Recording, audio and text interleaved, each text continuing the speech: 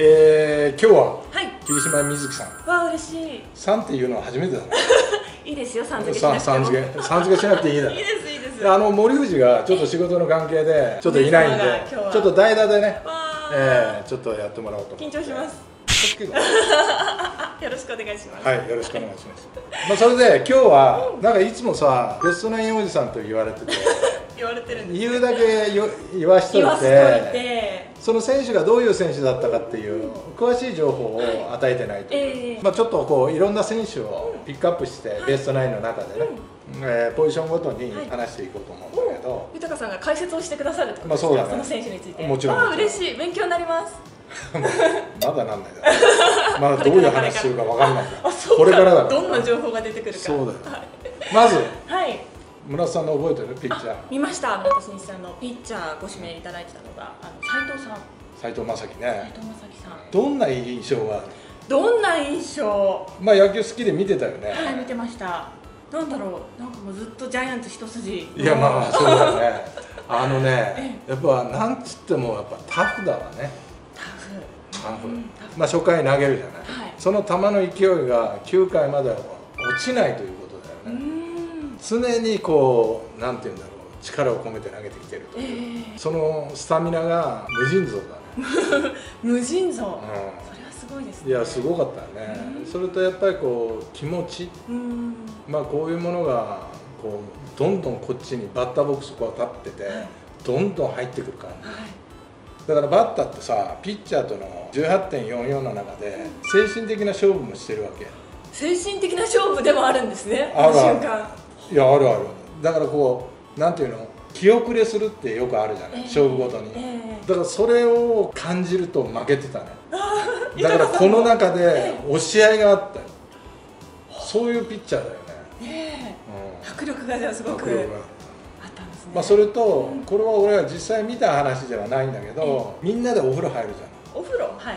んいやスリッパとか履いていくじゃない。うん。それがこう乱れてたら、やっぱ斉藤正樹っていうのは、エースになってからはどうだったかわかんないけど、若い頃なんかはきっちりこうやって並べてたというね、ああそういう、うん、そういう繊細な部分もあったときっちりとされてる方なんですね。きっちりされて A 型ですかね。どうだろう。気になってきた。あのな A 型そういう A 型っていう見方する？あはいなんかこうきちっとしてる人イコール A 型っていう固定観念が。俺は何型だと思 B か AB かうあそう。当たってます？A 型だよ。大体は当たんない。あ俺も当たんないんだよ。A 型なんですね。A 型あじゃあまだ A 型の側面を見てないだけかもしれません。まだ甘かった。まあでも斉藤正樹は A 型かもわかんないね。あそう見ますか。同じ A 型うん。ね。だからまあそういうきっちりしたところもあるし、ええまあみんなを思いやる、ピッチャーってさある種こう親物対象が多いわけ、えまあ確かにこうマウンド登って、自分主導でゲームが動くわけじゃない、はい。自分が投げないとゲームが始まらないわけじゃない、はい。だから親物対象の性格っていうのは結構あるんだけどもやっぱ斉藤正樹はこう非常にバランスがいい。そういう人間性を持ち合わせたええあー選手だったよね。素晴らしい選手ですいや素晴らしい選手だったと思う、うん。まあ、それで村田さんがはい。唯一、い、やもう俺代打出してくれ いう抑え、大魔神佐々木、ええ佐々木さん。やっぱ頼もしかったよね。頼もしい。どういった点で？いやもうねあのねピンチになった時に、まあ、1点差とかだった。でバントしてくると。で俺らシフトで猛ダッシュかけるから、バントやらせないように、えとにかくお前は思いっきり投げると、そしたら必ず相手はバスターっていう作戦に出てきてえバスタバスター、はい。打ちに来るから、うんそしたらお前の球前に飛ばないから。えそれで追い込もええ。うでフォークで三振だと。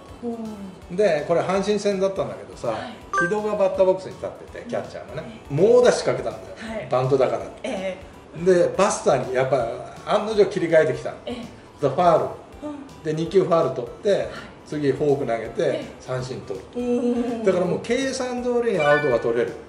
わあ大体ね頼もしかったよ心強いうん。こ頼もしかったの？ねえそその頃いたのか？横浜に。いやいやいやその後か？え後です。私あその後 DNA になってから番組やらせていただいたあので DNA になってからずいぶんか後なんですよ。若いな 随分2012年はい。いやだからまあでもそういう噂は聞いたでしょ？もちろんです、すごくもちろんです。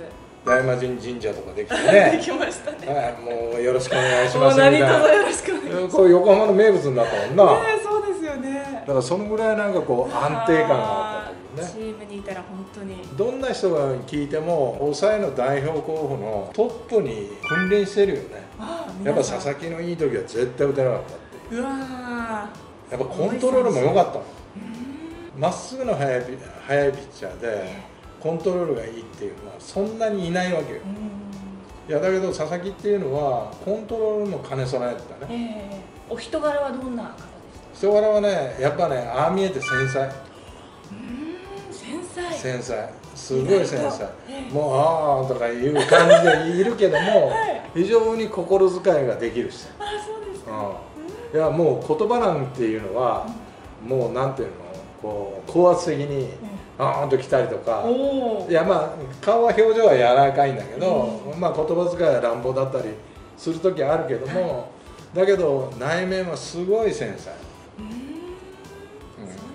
それを一緒にプレーした豊さんだからこそわかる。なねえそうかもしれない何型だと思う？それを想像して。佐々木さんは繊細だったら A 型かな？いいや俺も A 型だと思うよ佐々木は、ねそんな気がしますね。はい何型でしょう？O だ。お O でっかい O だよな。なんかそう言われるとああそうかもって思っちゃいますね。まあでもおおらかっちゃおおらかだおおらかでしおおたかっちゃおうそれでもう一人、はい。山口っていうはい。山口さんまあ巨人のね。うんあの横浜出身のね。ねえそう横浜出身。ベイスターズに来てほしかった。本当だよな。いやベイスターズに取りに行ってたんだよ。ああ叶わなかったんですね。叶わなかった。うんいやだけど、まあ、佐々木もそうだし後ろに投げてるピッチャーって、え。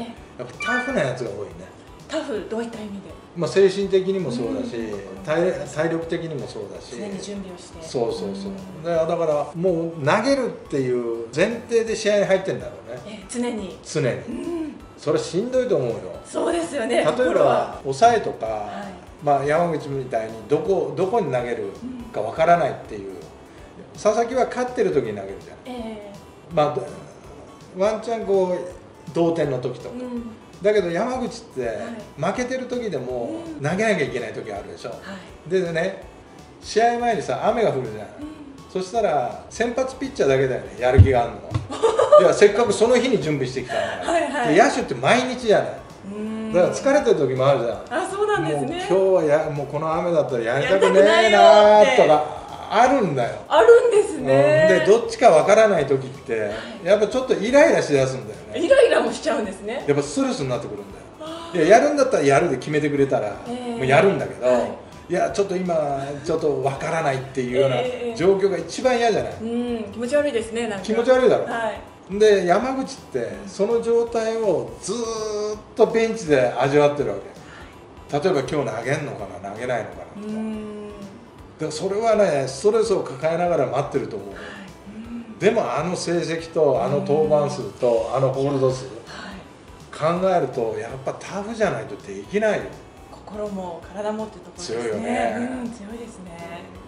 だからいいピッチャーだったねやっぱりねあの原監督にさえ1位引いた時あって MVP に選ばれなかった年があるんだよね、優勝しても。えで影の MVP っていうのは誰だって聞いた時にいや山口だとそれなんでって聞いたらあいつはねどんな時でも使えるって、すごい。うん、だから本当に重宝できるピピッチャーだって。うん。だから感謝してるっていうふうにえ話を聞いたことがあるんだよね、ねだからまあそれだけやっぱ準備も気持ちもえうん。なんかこうチームに与える影響力も、はい。まあ、あったピッチャーかなっていうふうに思うよね。すごい。はい。でそれを受けるええ。キャッチャー。キャッチャー。古田さん。なあ斎藤をどういうふうにリードするのかとかさ。うん。魔人をどういうふうにリードするのかとか。はい。ちょっと見てみたかったけどね。だけど、まあ、例えば斎藤正樹にキャッチャー誰が一番合うんだっていうとやっぱ胸玉合うんだよね。しっくりくるんだよね。やっぱり。うん。あの斎藤正樹ってさ左にはインサイドバンバン来るんだけど、ええ右に右バッターに対してバンバン投げるピッチャーではないような気がするんだけど、古田の要求ってインサイド厳しいところに要求していくんだよピッチャーに対して、そこを印象付けといて外で勝負とか。外で外で印象付けといて内で勝負とか。すごい、まあいろいろ巧みなキャッチャーだよね非常に頭のいいキャッチャーだったから、だから斎藤正樹と組んだ時にはどういうリードしたんだろうなっていう、えー、まあ、村田っていうのは右バッターに対しては斎藤正樹に対してはこう外の出し入れっていうのがあるんだけど、えー、ストライク取ったら1つボールとか、こういう出し入れをしてたんだけど。古田だったらやっぱバンバンインサイド行かしたかなっていう。まあなんかすごく想像するとさ、うん、なんかこう楽しみではあるけど、えー、なんか斎藤正樹がベストナインっていうふうにピッチャーの部分だったらそれを受けるキャッチャーってやっぱ村田がしっくりくるよね。だからそんな感じがするけどやっぱ古田っていうのは村田も言ってたけどフットワークも良くて肩も良くて。でねルーキーの時にシートノックに入ってたのヤクルト戦でね。で俺俺らは後じゃないヤクルトの神宮だから、でこうやって見てたらさえらい雰囲気があるキャッやつがいるんだよねキャッチャー、はい、いやなんかちょっと人と違うぞっていうのを感じる時ってあるでしょ。オーラが出てたんですね。そうそうそう。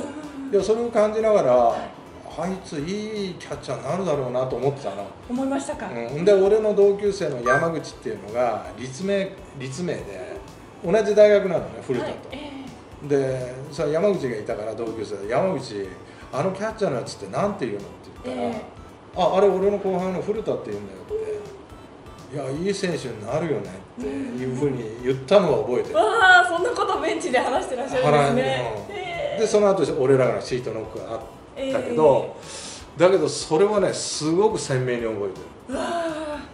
だからいい選手っていうのは、うん、やっぱりこう立ち振る舞いだとか所作、うん、そういうのがなんかせそのそういうところにセンスを感じるんだよね。所作も出ちゃ出ちゃってるんですね。出ちゃってる出ちゃってるまあ首位打者取ったりだとかね。